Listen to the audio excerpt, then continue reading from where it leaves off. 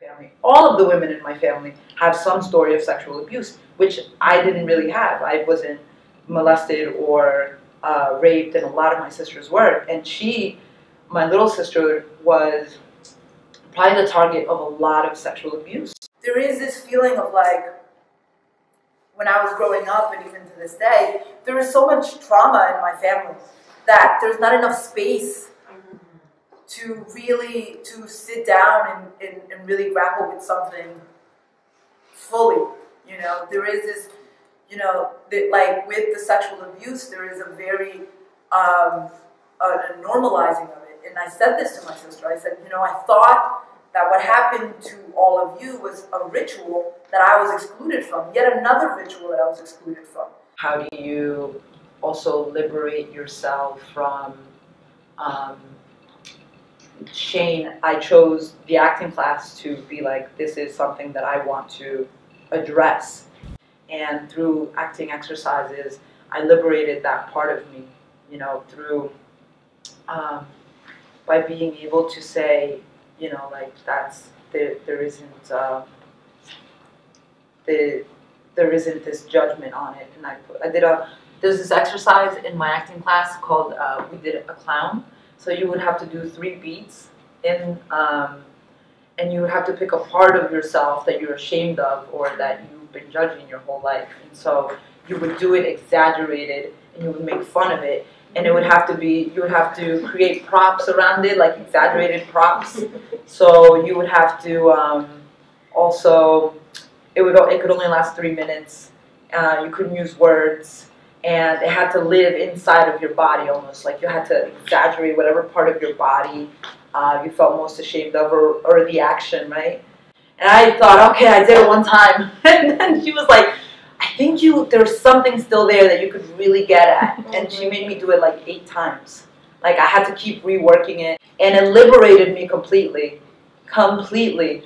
It, i think that as artists and just as people in general, if we can find spaces and ways to liberate ourselves from all these things that hold us back, uh, we need to take it. I wanted to um, learn how to be in front of the camera and how to be within my own body in front of the camera. And also just so that my family knows that I am also willing to be a vulnerable participant and to be just as open as I'm asking them to be. So with acting, I wanted to do that in a way that was also calculated and aware of the fact that um, I didn't know how to be in front of the camera. Um, and also just to like, I think everyone should take an acting class. It's so important to play around with the way we exist in our bodies and the way that we, um, um, I don't know, just be playful and break out of these ideas, these narratives that we have about ourselves, and be able to like just push your boundaries about who you are and who you think you are, etc. So acting has helped me so much with, like I was saying before, with liberating myself of these ideas and this and this shame and all these things that um, were imposed on me and that I impose on myself because you know they they they somehow are related to who I think I am.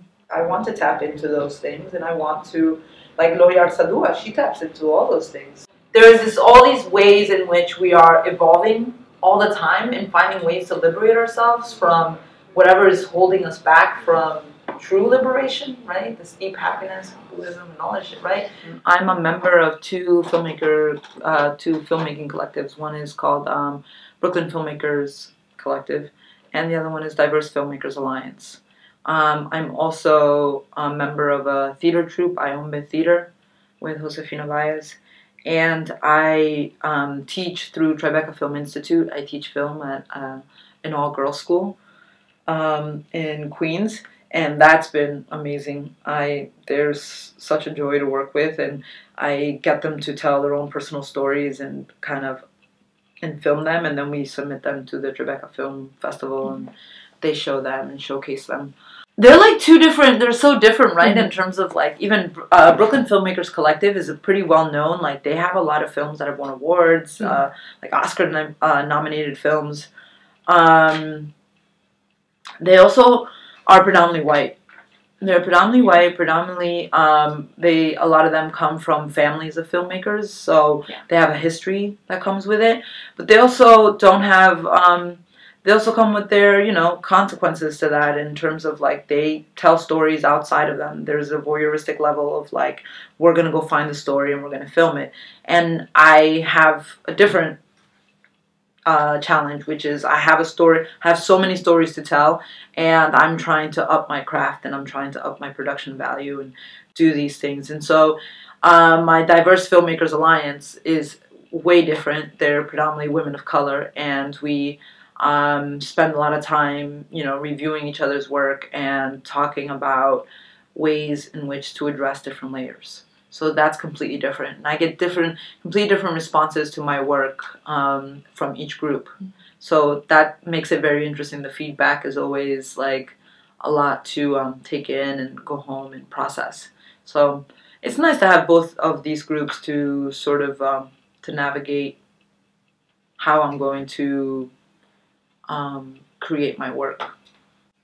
Because you know, like the if you go to the predominantly, you know, um, to BFC, like the some of them will have comments about like they're they don't find they don't un, like they can't um, maybe not not not relate, but a different word. Like they they're not that interested in perhaps like the conversation with my sisters. They're like, oh no, you know, you want to up the ante a little bit more and talk about like how your breasts are like you need to get them out immediately. Like they're they're into like constructing and molding some type of story that is already like, oh, how can we get an audience to like draw in, and versus like, oh, this is very very you know like just tell the story that is very like simple and and what it is you know like mm-hmm. for women of color it would be like this is amazing that you having these conversations in general. So i would i would almost leave everything in there and with them it's like more like shaping it and doing all these things. Mm-hmm. So it's interesting